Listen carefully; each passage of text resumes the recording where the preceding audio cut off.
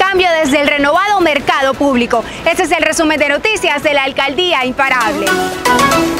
Ante la Organización Deportiva Panamericana, Panan Sport, la alcaldesa Vina Johnson y el gobernador Carlos Caicedo postularon a Santa Marta como sede de los Juegos Panamericanos Junior 2025. Nos seguimos reafirmando como uno de los mejores escenarios deportivos para competencias internacionales en Colombia.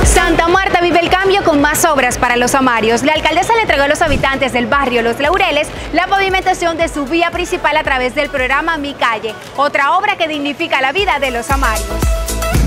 La alcaldía y el Ministerio de Comercio capacitan a empresarios amarios en calidad y diseño de experiencias turísticas. Esto como parte de la agenda para la cualificación de los prestadores de servicio turístico.